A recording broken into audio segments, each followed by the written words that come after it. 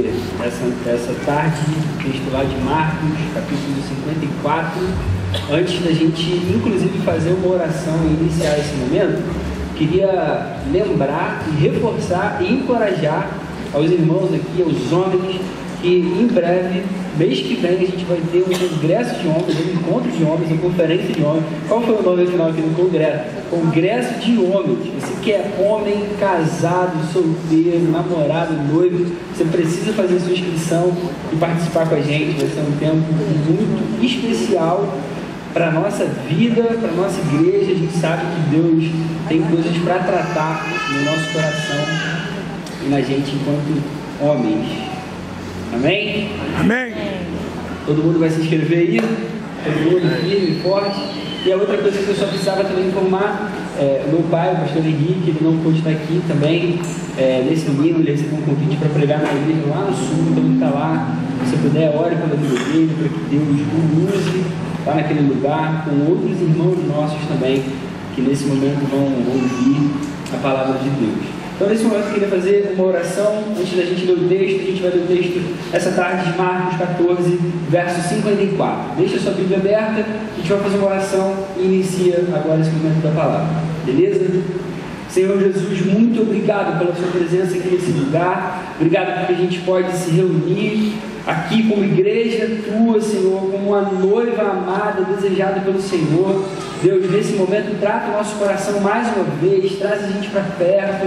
Senhor, acerta as coisas que precisam ser sentadas aqui dentro, na nossa alma, Senhor, na nossa mente, que a gente amadureça na caminhada contigo, ajuda a gente a ter um relacionamento cada vez mais profundo com o Senhor, para a tua glória, para que a tua igreja cresça, Senhor, para que o teu evangelho seja espalhado, para que se levantem homens e mulheres de Deus, Senhor, em meio a essa sociedade, Senhor, faz assim com a tua igreja, mais uma vez agora nesse momento de culto, Senhor, que a tua palavra seja exposta, seja pregada e ela traga transformação e traga mudança mais uma vez para a gente, no nome de Jesus.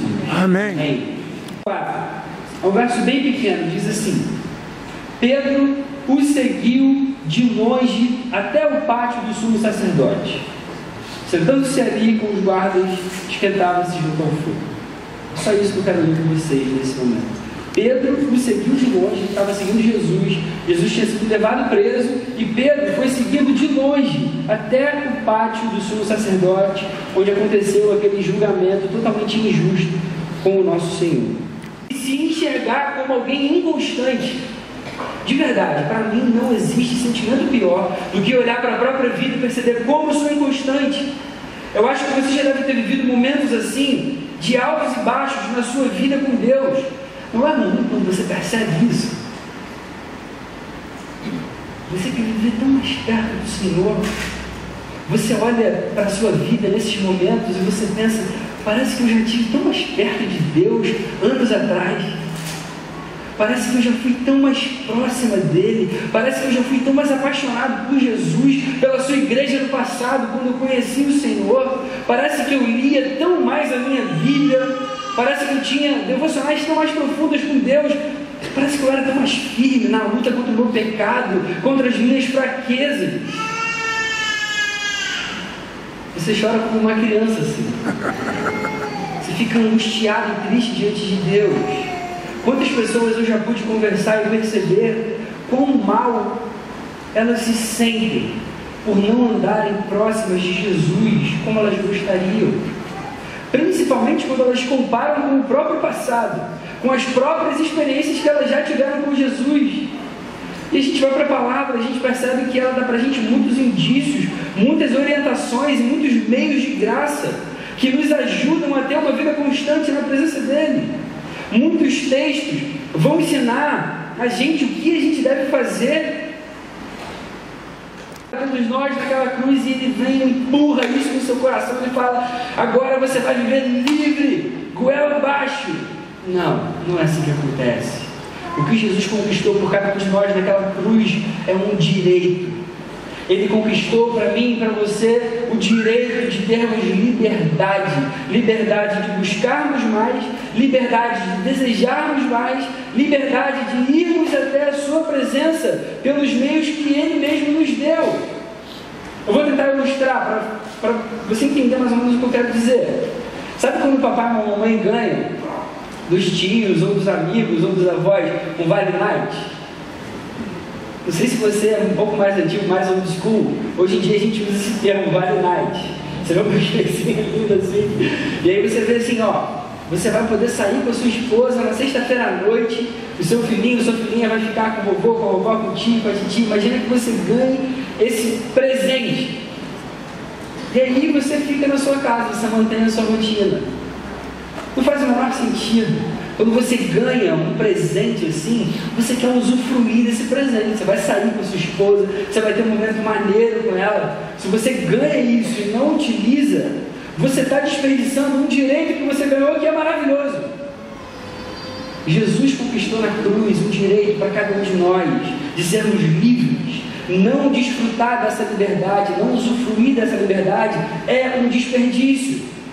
Ele deu para cada um de nós todos os meios para que a gente possa permanecer firme, para que a gente seja constante, para que a gente o ame todos os dias. Mas por que a gente ainda tem dificuldade de fazer isso?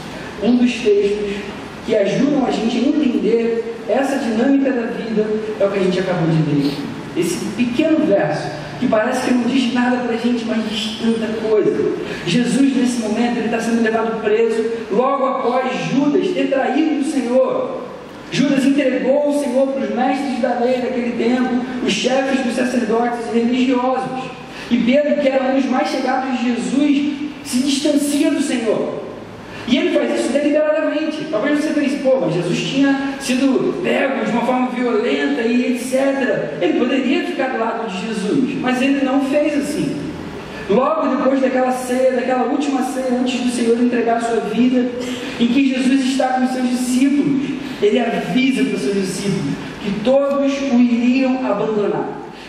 A negação de Cristo, o nosso Deus, o nosso Senhor. A continuação desse trecho pequeno que a gente leu aqui agora há pouco mostra Pedro indo ver o que estava acontecendo com Jesus. Ele continuava seguindo de longe. E uma pessoa reconhece que ele andava com Jesus. Alguém ali naquele momento, na casa do sumo sacerdote, percebe que Pedro era um dos discípulos de Jesus, era uma criada do sumo sacerdote. Quando você lê os versos 66 ao 68, o texto vai dizer para a gente que, estando Pedro embaixo no pátio, uma das criadas do sumo sacerdote passou por ali, vendo Pedro aquecer-se, olhou bem para ele e disse: Você também estava com Jesus o Nazareno?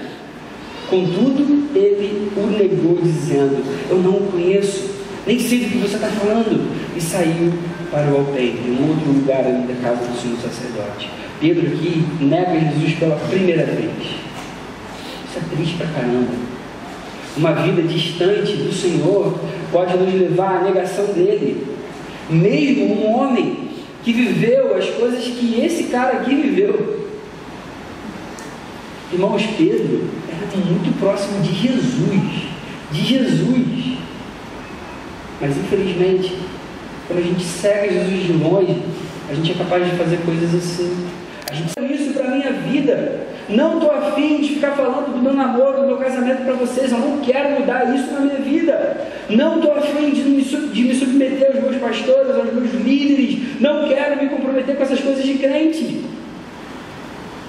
Outros não negam assim de uma forma tão literal, mas vivem como se negassem a Cristo com as suas atitudes diárias. Negam quando não confiam nas palavras de Jesus, negam quando não descansam de verdade no amor dele, negam quando se, quando se entristecem por Deus não dar aquela resposta de acordo com o desejo pessoal. Tudo isso começa com o seguir de longe.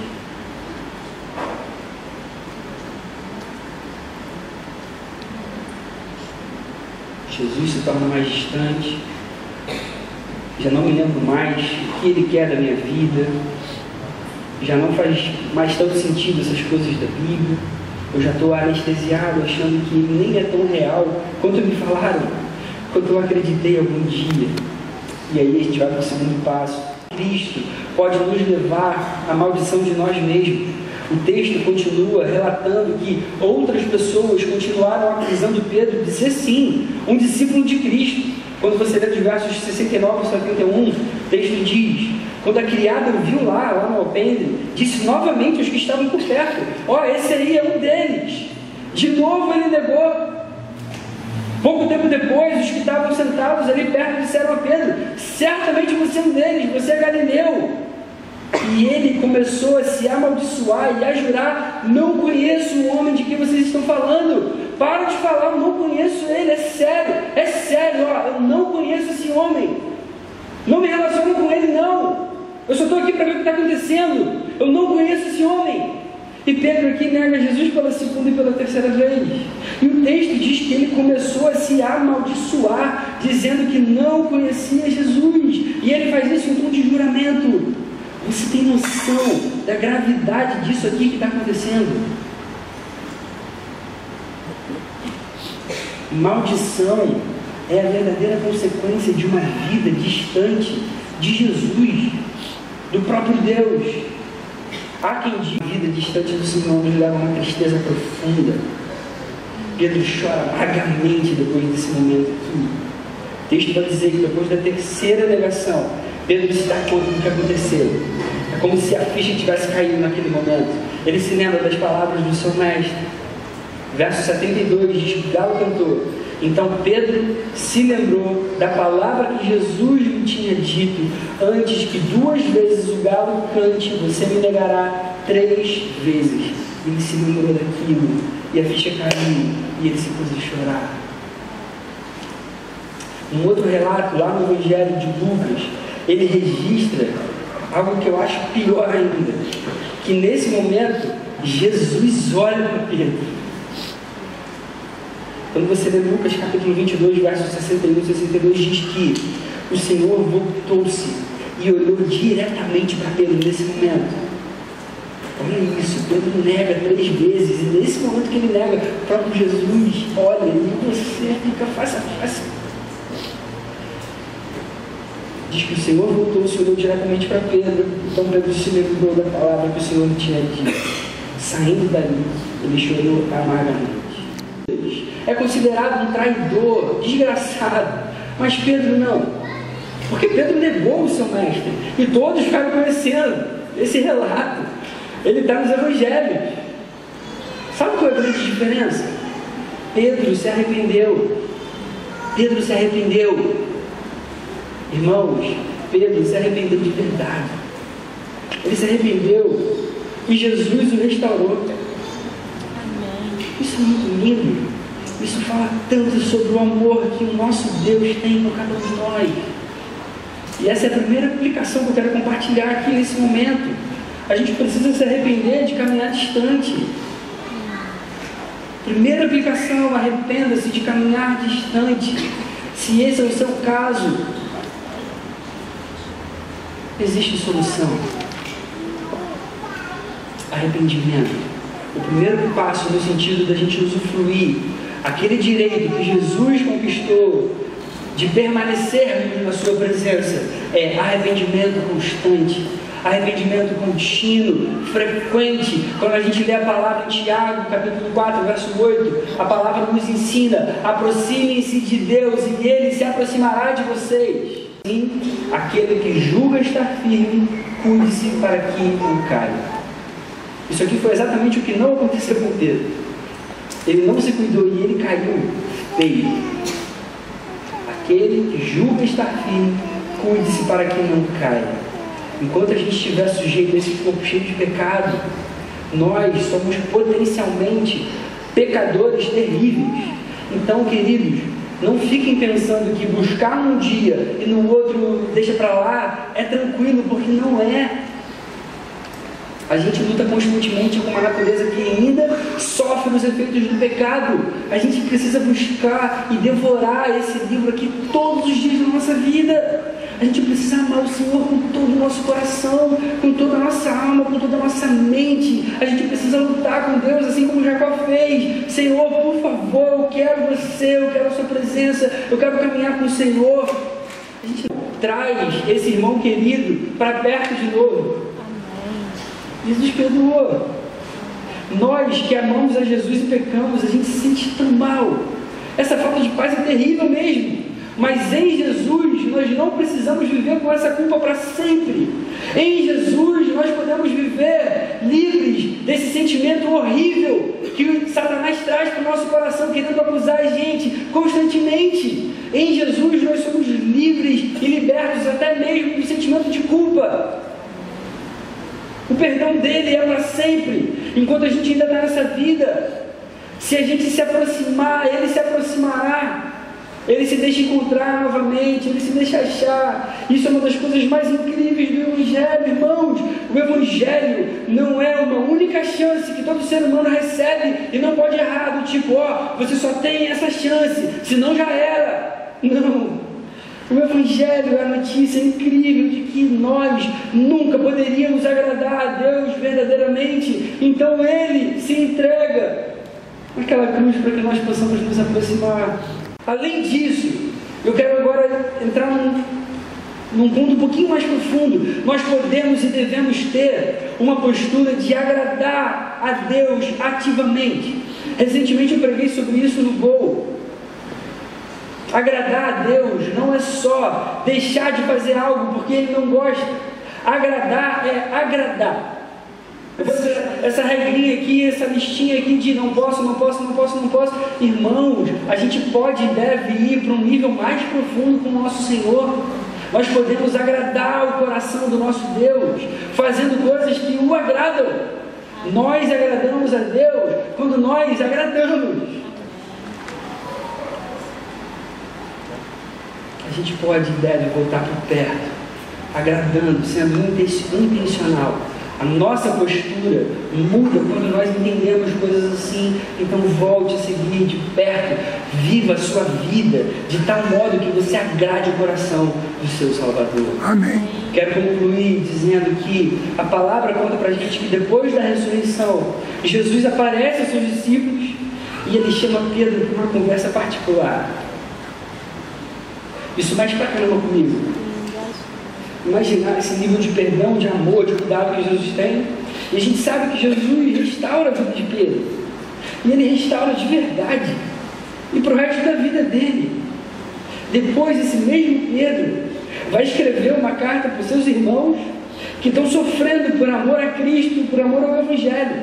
Você depois pode ler 1 Pedro Aí lá em 1 Pedro, capítulo 4, versos 13 e 14, ele mesmo escreve, esse mesmo Pedro de quem a gente falou aqui esse tempo todo, ele vai dizer o seguinte: alegrem-se à medida que participam dos sofrimentos de Cristo. Ele foi um covarde anos antes, agora ele está dizendo: alegrem-se por participarem dos sofrimentos de Cristo. Obrigado por quem você é. Obrigado por tanto amor graça e misericórdia assim, Senhor. Recebe toda a nossa gratidão, o nosso louvor, nessa tarde aqui, início de noite, Senhor. Como nós te amamos, nós queremos te bendizer e te adorar com toda a nossa vida, com todo o nosso coração. Ajuda a gente a caminhar próximo do Senhor, te amando cada vez mais, querendo mais e mais do Senhor, para que o Senhor seja glorificado, Senhor, no meio da nossa vida, do nosso testemunho, em qualquer lugar. Faz da gente servos teus, corajosos que te amam e dá para a gente experiências novas contigo, Senhor. Amém. Fala no nosso coração todos os dias, que a gente te busque frequentemente e que o teu nome seja exaltado. Amém. O seu nome é que a gente ora, Deus. Amém. Amém.